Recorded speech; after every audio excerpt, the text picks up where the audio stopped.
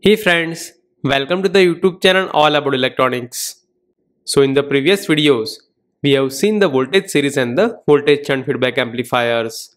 So similarly, in this video, we will learn about the current series feedback amplifier. So in this current series feedback amplifier, we have a basic transconductance amplifier and the feedback network. So if we see the connection between the basic amplifier and the feedback network on the output side, then it is the series connection. That means here, the feedback network is sampling the output current. Similarly on the input side, this feedback voltage Vf is mixed with the input signal using the series connection. So here, since the output current is sampled and it is sent to the input side using the series mixing, so this feedback amplifier is known as the current series feedback amplifier. And here, both on the input and output side, since we have the series connection, so many times it is also known as the series series feedback amplifier. And sometimes it is also known as the current voltage feedback amplifier. Because here, on the output side or on the sampling side, the current signal is sampled, while on the mixing side or on the input side, this feedback voltage is mixed with the input signal. So in this feedback topology, since we have a series connection on the output side, so its output impedance increases. Similarly on the mixing side or on the input side, since we have a series connection, so with the feedback, the input impedance also increases by the factor of 1 plus A beta, where the A is the transconductance gain of the basic amplifier and this beta is the feedback factor and this type of feedback amplifiers are mainly suitable for the transconductance feedback amplifiers because here the input signal is the voltage signal while the output signal is the current signal. So if you see the unit of this transconductance gain of this feedback amplifier or this I out divided by V in then that is inverse of the ohm. Alright, so now let us see in this current series feedback amplifier how the input and output impedance increases with the feedback. So this is the general structure of the ideal current series feedback amplifier. So here this A circuit represents the basic transconductance amplifier while this beta circuit shows the ideal feedback block. So here this Ri is the input impedance of this basic amplifier while this A is the transconductance gain of this basic amplifier. So here when this input signal Vi is appearing across the basic amplifier, then it will get amplified by this transconductance gain of this amplifier. And here, this R0 is the output impedance of this basic amplifier. So here, for the simplicity, we are assuming that the source resistance Rs of this input signal is 0. And similarly, this load resistor RL is also not connected between these two terminals. Moreover, here we are also assuming that when this beta circuit or the feedback network is connected to the basic amplifier, then there is a no loading effect. That means after connecting this feedback network, there is a no variation in the output current of this basic amplifier. That means if we break the connection between the feedback network and the amplifier on the input side, then just because of this feedback network, there is a no variation in the output current of this basic amplifier. So considering this, now let us find the effective input impedance of this feedback amplifier. So here, the effective input impedance which is seen through the voltage source Vs is equal to Vs divided by Ii, where this Ii is the input current to the amplifier. Let's say that is equal to Rif. So now, let us find the relationship between this Vs and the Ii.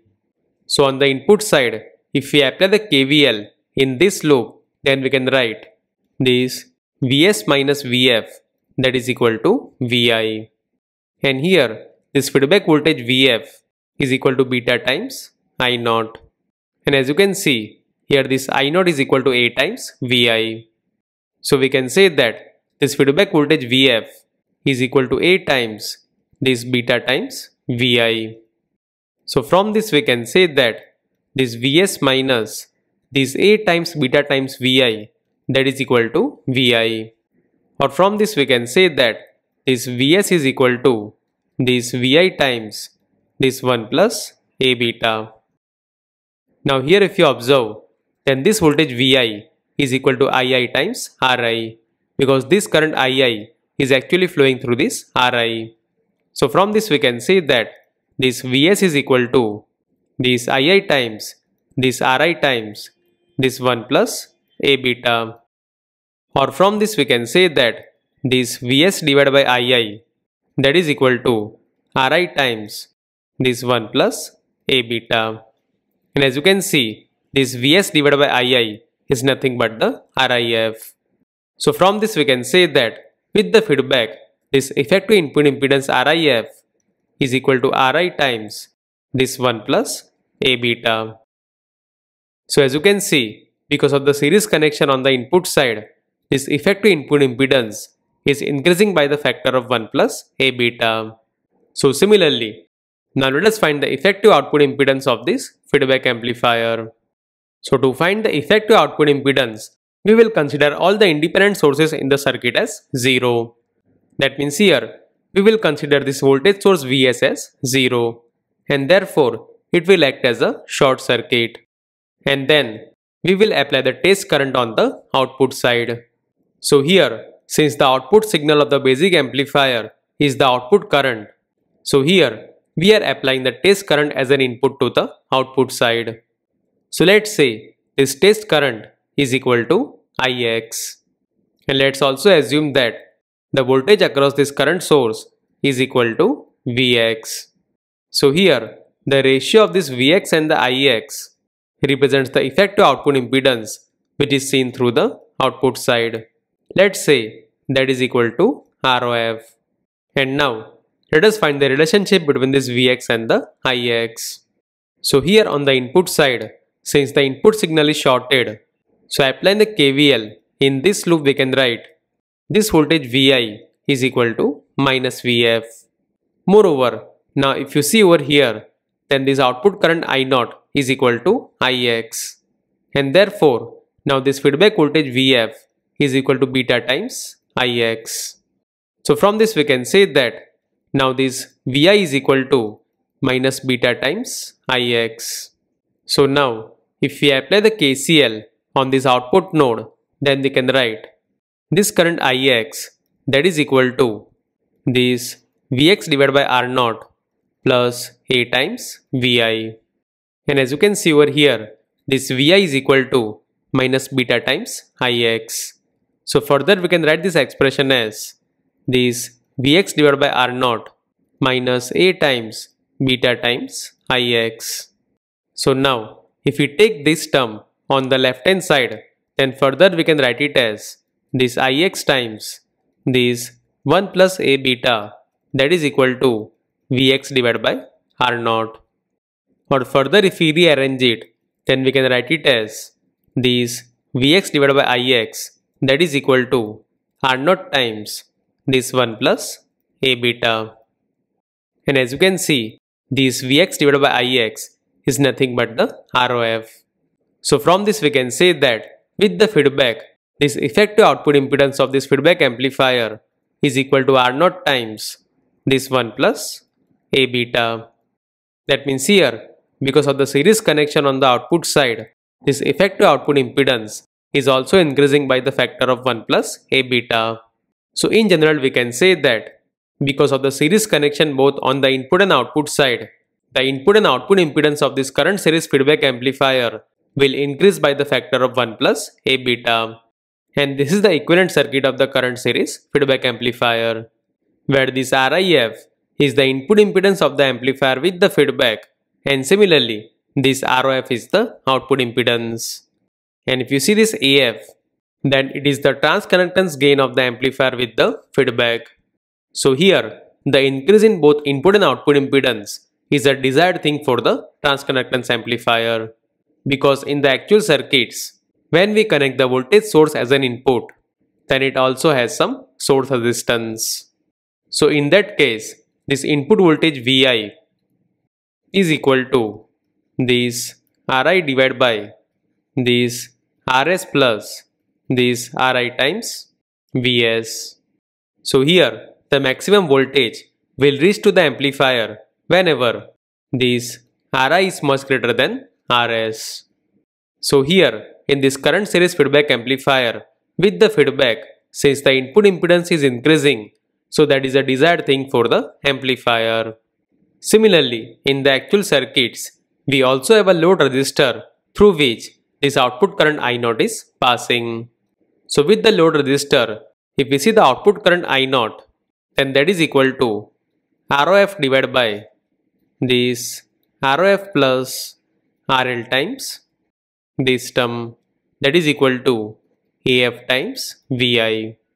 So basically just using the current divider we can find the current through the load resistor.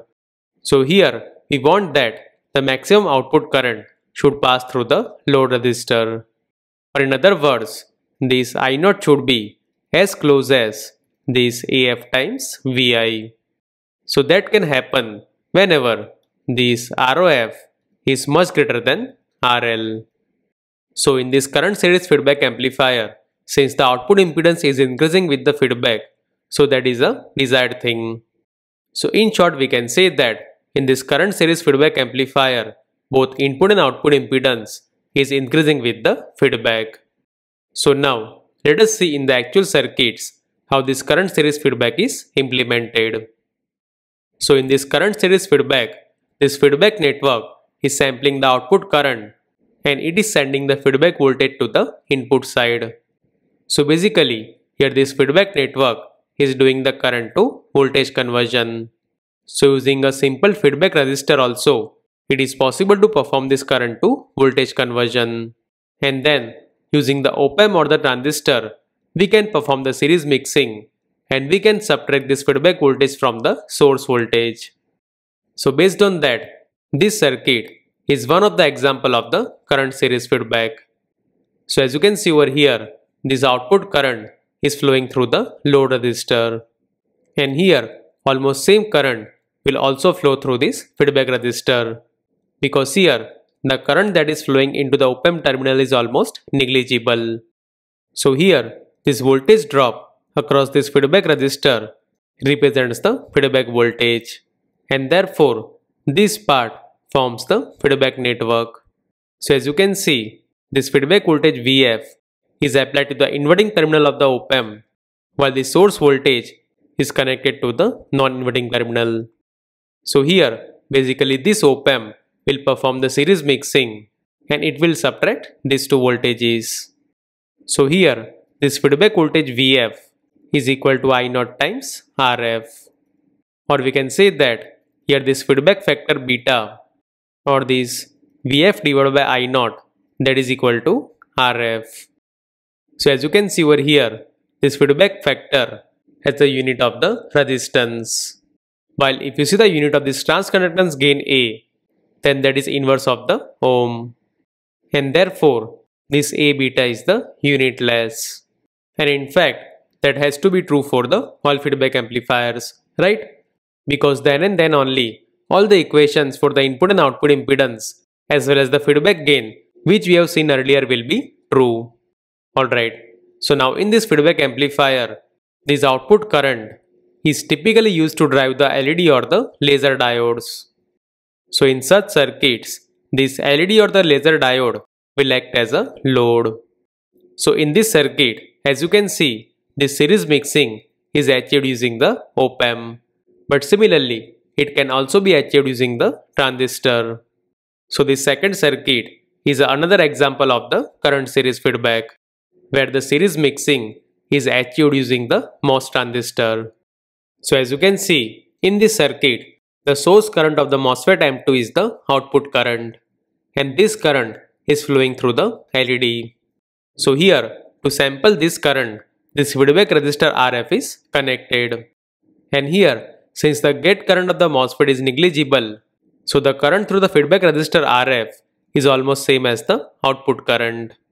So here, this feedback voltage Vf is equal to I0 times Rf and this voltage is applied to the gate terminal of this M1 and as you can see this input signal Vin is applied to the source terminal of this M1 that means here if you see this VGS1 then that is equal to this Vf minus Vin that means here this MOS transistor is performing the series mixing.